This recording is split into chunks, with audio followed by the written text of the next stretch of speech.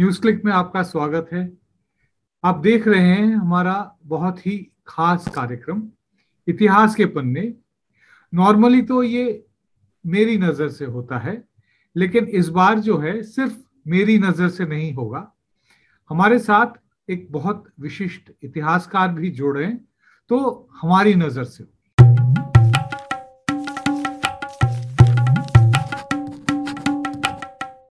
आप सब लोगों को याद होगा कि कुछ दिन पहले उत्तर प्रदेश के मुख्यमंत्री योगी आदित्यनाथ और उनके साथ प्रधानमंत्री नरेंद्र मोदी ने अलीगढ़ में एक बहुत धूमधाम से एक नए प्रोविंशियल यूनिवर्सिटी राजा महेंद्र प्रताप सिंह के नाम पर उसका उद्घाटन या उसका एक काम शुरू करने का एक प्रोसेस को शुरू किया गया था। उस समय कई सारी बातें की गई थी।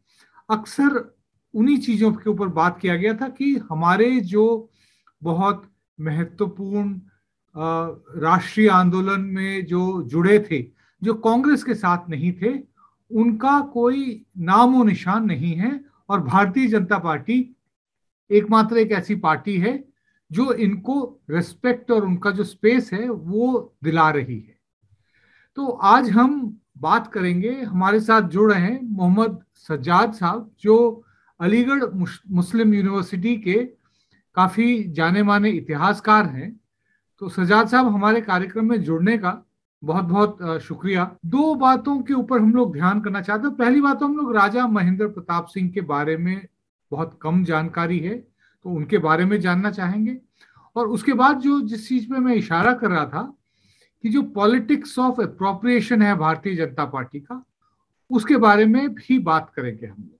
तो सबसे पहले एक इतिहासकार आपने काफ़ी लिखा भी है, जरा हमको राजा महेंद्र प्रताप सिंह के बारे में बताइए और उनको आज के मोड़ में क्यों भारतीय जनता पार्टी इतना प्रमोट कर रही है। ये राजा महेंद्र प्रताप इस इलाके में, अलीगढ़ मथुरा के इलाके में ये राजा मुरसान के तीसरे बेटा थे। और राजा हाथरस ने इनको तीन साल की उम्र में अडॉप्ट कर लिया था। फिर बाद में कुछ इश्यूज़ आए थे जिसकी वजह से फिर वापस इनको अपने बायोलॉजिकल पेरेंट्स के पास चले जाना पड़ा था। बहुत बाद में ये सब परेशानियाँ आई थी। इन सबको उन्होंने अपना मेमोर लिखा है first volume my life in first fifty five years उसमें उन्होंने काफ़ी डिटेल से इसको दिया है।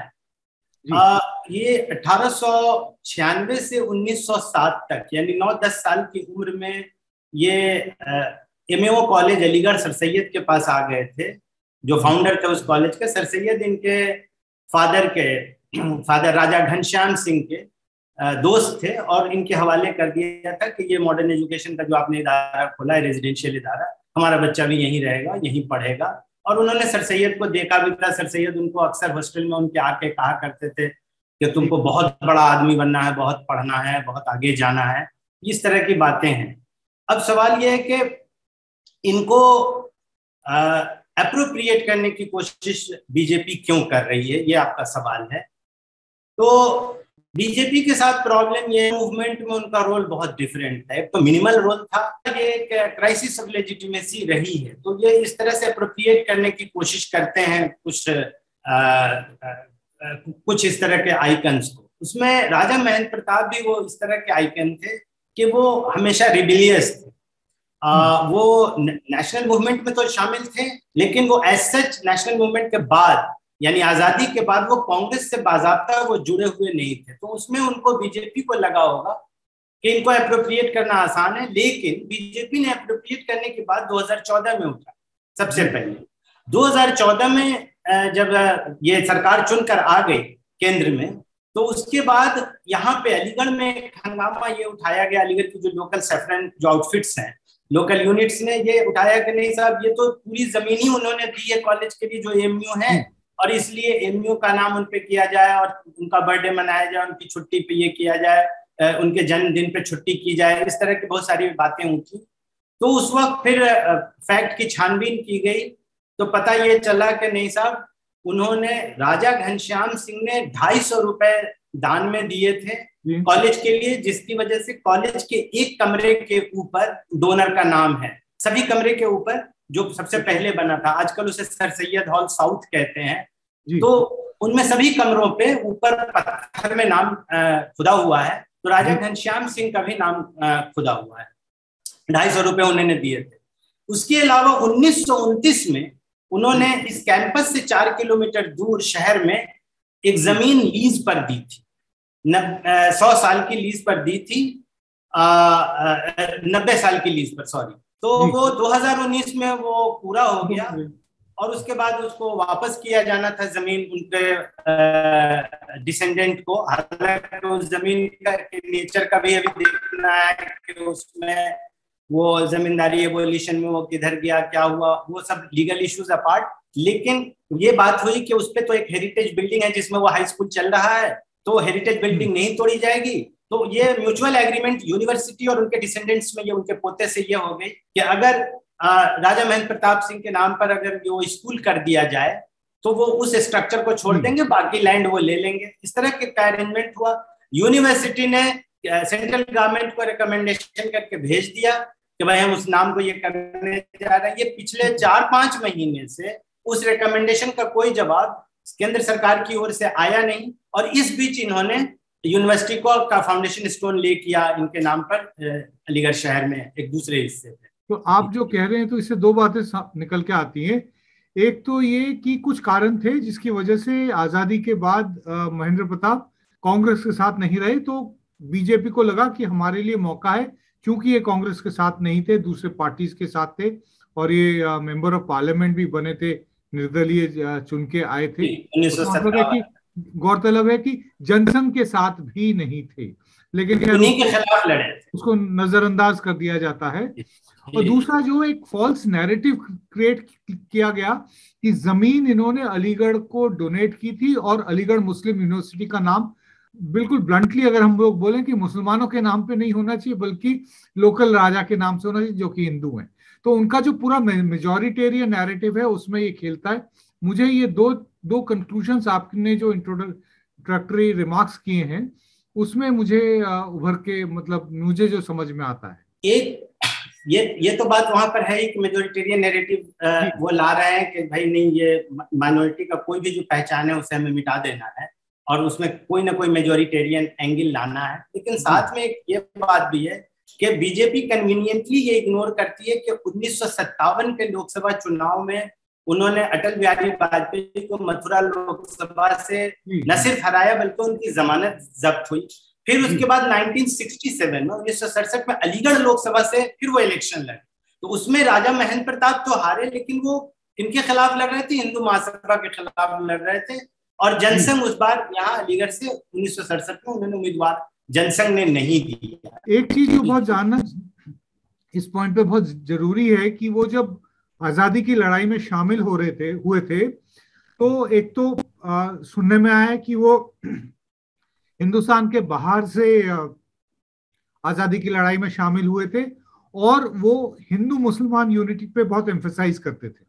जी जी। इसके बारे में बताइए। हाँ इसके बारे में यह है कि वो 1915 में एक exile government in exile Kabul में बनी थी। उसमें वो राजा महेंद्र प्रताप थे, उबैदुल्ला सिंधी थे और मौलाना बरकतुल्ला थे, वो गवर्नमेंट इन एग्जाइल के वो हाईएस्ट एग्जीक्यूटिव बनाए गए थे। 1915 से लेकर 1945 तक, सेकेंड वर्ल्ड वार तक वो तकरीबन पूरे 30 सालों तक वो विदेशों में ही रहे। सभी देशों में वो घूमते रहे और उन देशों में वो इंडियन फ्रीडम मूवमेंट के लिए वो फ्रेंड्स अर्न कर रहे थे। वो लेक्चर्स कर रहे थे स्पीचेस दे रहे थे। राइटिंग्स कर रहे थे और वो इंडिया के अखबारों में भी लिख रहे थे और इंडिया के वर्नाकुलर्स में भी लिख रहे थे हम्म। लेकिन वो विदेश जाने के पहले जब वो एम कॉलेज अलीगढ़ में पढ़ रहे थे तभी वो हर समर वेकेशन पचहत्तर दिनों का समर वेकेशन होता था हर समर वेकेशन वो पूरे भारत भ्रमण पे निकल जाते थे और उसी जमाने में उन्होंने कांग्रेस ज्वाइन करना चाहा था। बल्कि उससे कांग्रेस ज्वाइन करने से पहले जब गांधी जी का आंदोलन साउथ अफ्रीका में चल रहा था तो उसमें भी शामिल होना चाह रहे थे तो गोखले जी ने मना किया। तो इन्होंने फिर एक हज़ार रुपए का कंट्रीब्यूशन दिया कि साउथ अफ्रीका भिजवा दीजिए। और ये इधर इन्होंने एक प्रेम महाविद्यालय भी खोला काबुल जाने से पहले। और उनका था कि रिलीजन ऑफ़ लव हमको स्प्रेड करना है और वो अपने उस जो महाविद्यालय खोला था वो one of the first polytechnics था। वहाँ से डेलीगेट्स जाते थे मुख्तलिफ़ शहरों में। और वो स्प्रेड करते थे उसमें एक छोटा सा एनिक्डोट भी है कि मुरादाबाद कलेक्टर को शक हुआ कि ये गौरक्षणी सभा चला रहे हैं। काउ प्रोटेक्शन मूवमेंट चला रहे हैं तो उन्होंने कहा नहीं नहीं ये आपको मुगालता है। हम तो इंसानों की बात कर रहे हैं जानवरों की अहमियत तो इंसानों के बाद आएगी। इस तरह के का उन्होंने कुछ रिमार्क दिया था। फ्रीडम मूवमेंट में वो गदर मूवमेंट और उस तरह के रेवोल्यूशनरी मूवमेंट से उनका ज़्यादा लगाव था। राजा महेंद्र प्रताप का और राज बिहारी बोस वगैरह से उनके ताल्लुकात थे। वो बाहर इन सब तरह के के मूवमेंट से जुड़ रहे थे। और वो कह रहे थे कि भाई at home in India Indian National Congress is fighting for our freedom और हम उसको, इस कॉज को पूरा इंटरनेशनलाइज करेंगे इंटरनेशनलाइज करेंगे। और पूरे वर्ल्ड ऑर्डर को वो डेमोक्राइज करने की बात कर रहे थे।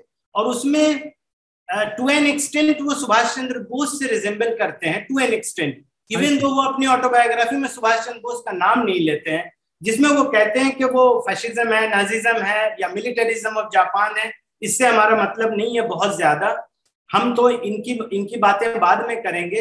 हम पहले ये सब कैसे ब्रिटिश इंपीरियलिज्म के खिलाफ हैं तो इनको अभी हम फ्रेंड मानेंगे। और उन्होंने उसमें सिमिली भी बताया है कि इस शेयर का इस्तेमाल उस शेर के खिलाफ करना है और इस शेयर को हम फिर वेजिटेरियन बनाएँगे दांत तोड़ के इन शेयरों को जर्मनी जापान और इन सबको तो ब्रिटिश इंपीरियलिज्म के खिलाफ जो ताकतें थी उनके लिए उनसे वो अलाइन करके इंडिया का फ्रीडम लेना चाह रहे थे। ये इसमें उनकी क्लैरिटी थी। वो अपने ऑटोबायोग्राफी में जब वो उस पीरियड में बाहर थे तो वो लेनिन से भी इंटरेक्ट किए थे और मेरे ख्याल से काफ़ी इन्फ्लुएंस हुए थे उनसे। जी जी जी। वो इन्फ्लुएंस थे वो बहुत स्टेबल एक आइडिया पे रहते नहीं थे लेकिन वो लेनिन से आ, काफ़ी मुतासिर हुए थे। इसका ज़िक्र वो करते हैं अपने ऑटोबायोग्राफी आज़ादी के बाद उनके कांग्रेस से मतभेद होने के कारण क्या थे? आज़ादी के बाद कांग्रेस के मतभेद पर उन्होंने अपनी ऑटोबायोग्राफी में बहुत क्लियर कुछ लिखा नहीं है। उनका जहाँ तक मेरी जानकारी है। और हमें दूसरे सोर्सेज से भी बहुत कुछ पता नहीं चला मुझे ये पता चला है कि लोकसभा में वो अक्सर कुछ ऐसी बातें करते थे जिससे ही use to become a butt of joke kind of thing लेकिन ये मैंने कंफर्म नहीं किया। उनके पार्लियामेंट्री इंटरवेंशन को अलग से स्टडी करना होगा। ये एक रिसर्च का सब्जेक्ट है कि उनके बायोग्राफिकल अकाउंट के लिए फर्दर हम लोग को कुछ रिसर्च किया जाना चाहिए कि आज़ादी के बाद क्या प्रॉब्लम्स आए थे। आज़ादी से पहले तो उनको बहुत तरह की परेशानियाँ थी। अंग्रेज़ों ने उन्हें प्रॉपर्टी कन्फिस्केट कर ली थी। उनके बेटे पो, पोतों पर ये पाबंदी लगाती लगा दी थी कि आप इनको मेंटेनेंस तक नहीं दोगे। तो वो काफ़ी परेशानी में तो थे। आ, उनकी पत्नी का पहले ही देहांत हो गया था 1925 वगैरह के आसपास देहांत हो गया था 25 हाँ 1925 के आसपास। ये परेशानी थी। आज़ादी के बाद कांग्रेस से उनका नहीं कॉम्पेटिबिलिटी बहुत कुछ रहना वो इसका मैं एक कंजेक्चरल आंसर दे सकता हूँ कि वो थे रिबिलियस स्प्रीट के एंटी स्टेब्लिशमेंट थे वो। पेरेनियली एंटी स्टेब्लिशमेंट थे। तो उनको लेकिन उन्होंने बहुत प्रॉपरली आर्टिकुलेट नहीं किया है कि कांग्रेस रूलिंग कांग्रेस से उनके क्या परेशानियाँ हैं। एक चीज़ जो उभर के आती है जो कुछ आपने लिखा है और बाकी लोगों ने अभी हाल में लिखा है कि उनका एक जो पर्सपेक्टिव था उसमें तमाम धर्मों को ऑल रिलीजन्स को, वो बहुत रिस्पेक्ट करते थे। मैं एक जगह पढ़ रहा था, आप ही के शायद आर्टिकल में लिखा था कि उनकी direct quotation that all religions are a rare set of ideas given to the human race in the interest of human well being there has to be unity of religions they differ only because are, they were produced at different times and different space. इसके बाद यहाँ पे बहुत operative sentence है कि governments of today are the worst disrupters of peace ji. जो बात इन्होंने किसी दूसरे कॉन्टेक्स्ट में की थी ये शायद आज के कॉन्टेक्स्ट में भी बिल्कुल वैलिड है। तो सबसे पहले तो ये किस कॉन्टेक्स्ट में बोल रहे थे? और जो मेरा मेरी जो टिप्पणी है इसको आप कितना वैलिड मानते हैं कि ये आज के कॉन्टेक्स्ट में इनका ऑब्जर्वेशन बिल्कुल वैलिड है? ये ये रिमार्क उन्होंने प्रीफेस में लिखा है अपनी ऑटोबायोग्राफी के फ़र्स्ट वॉल्यूम के प्रीफेस में लिखा है और ये ऑटोबायोग्राफी का फ़र्स्ट वॉल्यूम 1947 में पब्लिश हो चुकी थी। तो ये टाइमिंग जो है हमको कॉन्टेक्स्ट क्लियर कर दे रहा है कि ये इंपीरियलिस्ट पावर के खिलाफ बोल रहे हैं कि ये जितनी तरह जितनी भी स्टेट पावर्स हैं वो इसी तरह की हैं। ये आज भी इसको वैलिड माना जाना चाहिए जो आपकी जो टिप्पणी एग्री करते हैं। वो इसलिए कि आज भी स्टेट पावर और state violence not only in India across the world we do get many instances बहुत सी मिसालें हमें मिल रही हैं जिसमें स्टेट खुद violence it has taken recourse to violence और इसलिए उनके इस रिमार्क के रिलेवेंस है और ये हम लोगों के कॉन्शियंस को प्रिक करता है अभी भी कि एक सिविल सोसाइटी इस तरह के तमाम इश्यूज़ के खिलाफ खड़ी हो। और ये बात वो तब भी कह रहे थे वो अपने प्रीफेस में ही लिख दिया था। जी। अभी फ़िलहाल जो ये यूनिवर्सिटी के बारे में जिस तरह से एकदम प्रोग्राम हुआ और जिस तरह की भाषणबाजी हुई ये भी टिप्पणी हुई कि ये किया गया है?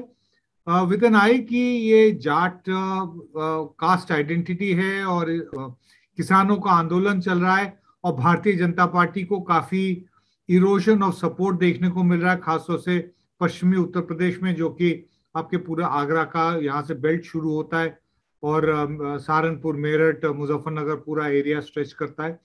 तो इससे क्या भारतीय जनता पार्टी को कोई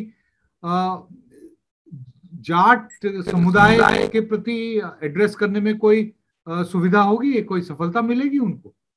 देखिए, ये ये पैथेटिक बात है किसी गवर्नमेंट के लिए कि वो एक तरफ़ दावा करती है कि उससे तमाम जनता सेटिस्फाइड है। दूसरी तरफ़ वो इस तरह की विंडो ड्रेसिंग एक सिंबोलिज्म करती है और बहुत डिस्परेट सिंबोलिज्म ये तो डिस्परेट सिंबोलिज्म जो ये कर रही है, इससे पता चलता है, यही इंडिकेशन इस बात की कि ये खुद अपने परफॉर्मेंस सेटिस्फाइड नहीं है। किसान आंदोलन में जाटों की जो नाराज़गी है आ, सरकार के खिलाफ वो तो बहुत साफ़ साफ़ दिख रही है। अब ये कितना ट्रांसलेट होगा इलेक्शन के वक्त वोट में ये तो देखने वाली बात होगी लेकिन अभी नाराज़गी बहुत बहुत साफ़ साफ़ है। अफसोसनाक बात यह भी है कि जब एक तो ये कि यूजुअली प्राइम मिनिस्टर किसी स्टेट यूनिवर्सिटी के फाउंडेशन के वो इतने पॉम्प एंड शो के साथ नहीं करते हैं, वहाँ इनोग्रेट करने नहीं जाते हैं, या फाउंडेशन स्टोन ले करने नहीं जाते हैं, ऐसा, ऐसी मिसाल शायद नहीं है।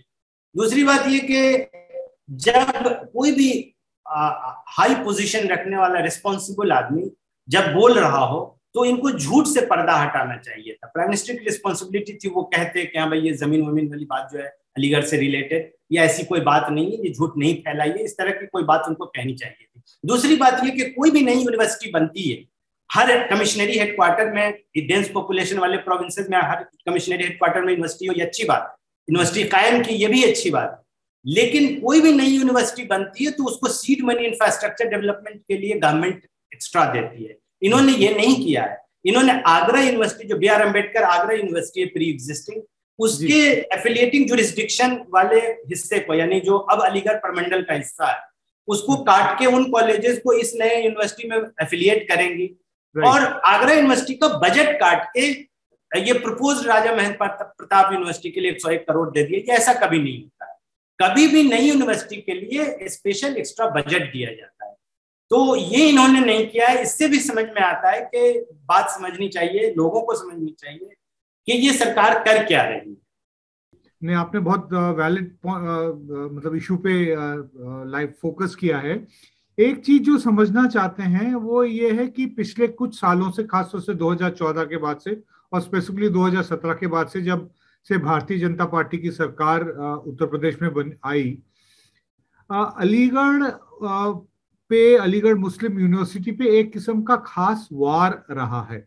तो ये जो पर्टिकुलर घटना है इसका अलीगढ़ मुस्लिम यूनिवर्सिटी की जो कम्युनिटी है आप एकेडमिक कम्युनिटी के एक बहुत लीडिंग वॉइस हैं उस पर क्या रिएक्शन है और क्या एक किस्म की सीज मेंटालिटी आप लोगों को महसूस होती है वहाँ पे? देखिए एक डर का माहौल है कि अगर कोई बहुत पीसफुल डेमोक्रेटिक प्रोटेस्ट भी है तो हार्शेस्ट पॉसिबल पेनाल्टी लगा दी जाती है प्रॉपर्टी सीज कर लेना दुकानें बंद कर देना बहुत सख्त सजाएँ दी गई हैं। जी। तो ये जो स्टेट का जो रिप्रेशन है वो बहुत ही डिस्प्रोपोर्शनेट रहा है चाहे वो सी एनआरसी के प्रोटेस्ट के सवाल पर जी। जिस तरह से पुलिस घुसकर जो बर्बरता दिखाई पुलिस ने दिसंबर 2019 में में और उसके बाद वो जनवरी फरवरी मार्च तक चल, चलता रहा। अलीगढ़ के आसपास के शहरों में, दूसरे शहरों में भी उत्तर प्रदेश के बहुत ही डिस्प्रोपोर्शनेट स्टेट रिप्रेशन किया गया। पीसफुल डेमोक्रेटिक प्रोटेस्ट के खिलाफ भी बहुत। तो ये जो डर का माहौल है, इससे कई तरह के खतरे इन शॉर्ट टर्म और इन द लॉन्ग रन भी। बहुत तरह के खतरे बने रहते हैं समाज में। बहुत दूसरे तरह की जो एक्सट्रीमिस्ट टेंडेंसी ना इमर्ज करे। इस तरह का डर हम लोगों को रहता है। और उसकी तरफ़ भी काम करने की ज़रूरत है। तो इसमें स्टेट की जो अभी जो आइडियोलॉजी है, जिस आइडियोलॉजिकल फोर्स ने स्टेट पावर ले लिया है, वहाँ एक परेशानी तो आ गई है। और यूनिवर्सिटी एम पे एक हमेशा बर्डन रहा है कि ये अपनी पेट्रोटिज्म प्रूव करे, वो अपने स्लीव पर पेट्रोटिज्म जो है वो ले, धो के चले रूफ टॉप से शाउट करे, इस तरह की परेशानी। ऐसा नहीं कि इसी रिजिम के आने से हुआ है, लेकिन इस रिजिम के आने से उसकी शिद्दत में इजाफा हुआ है। उसकी डिग्री जो इंटेंस मोर इंटेंस हो गई। वरना ये प्रॉब्लम हमेशा रही। जैसे मैं आपको एग्जांपल दूँ कि मैं हम्म। मुजफ्फरपुर बिहार से आता हूँ। और Muzaffarpur is suppose to be a economic cultural political centre of hegemony of Bhumihar upper caste तो वहाँ भी एक यूनिवर्सिटी हेडक्वार्टर है। और वो गैंगस्टर्स के लिए भी बदनाम है वो यूनिवर्सिटी यूजुअली वो गैंगस्टर्स भूमिहार ही होते हैं। लेकिन हम्म। कोई ये नहीं कहता है कि हर भूमिहार गैंगस्टर है। कोई ये नहीं कहता है हम्म। कि बिहार यूनिवर्सिटी मुजफ्फरपुर गैंगस्टरों की यूनिवर्सिटी है। ये कोई नहीं कहता है। लेकिन एमयू की सवा सौ डेढ़ सौ डेढ़ सौ साल होने जा रही है इसकी हिस्ट्री इस डेढ़ सौ साल की हिस्ट्री में कोई एक स्टूडेंट किसी एक्सट्रीमिस्ट इससे एक्यूज कर दिया गया लिंक कर दिया गया तो भी कहेंगे कि पूरी यूनिवर्सिटी की टाइपिंग उसी फॉर्म में हो जाती है। तो ये एक बहुत ही अनफॉर्चुनेट बात है और इसकी तरफ़ सिविल सोसाइटी को ध्यान देना चाहिए। कि ये इतना बड़ा प्रेशर क्यों डाल देते हैं किसी इदारे पर? या उस इदारे से जुड़े हुए लोगों पर? नहीं, बहुत महत्वपूर्ण बात कही आपने। हमसे बात करने के लिए बहुत बहुत शुक्रिया हम लोगों ने। आपने कई चीज़ों पर बहुत महत्वपूर्ण रोशनी डाली आज कि सबसे पहले तो पूरा ये जो राजा महेंद्र प्रताप सिंह को लेके एक मेजर इशू क्रिएट करने की कोशिश की Bharatiya Janata party.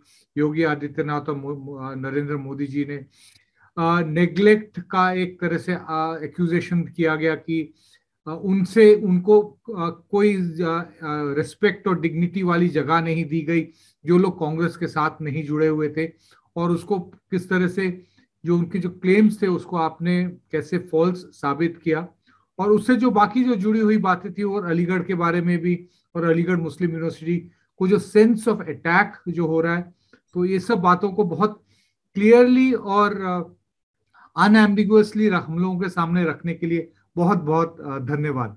Thank you very much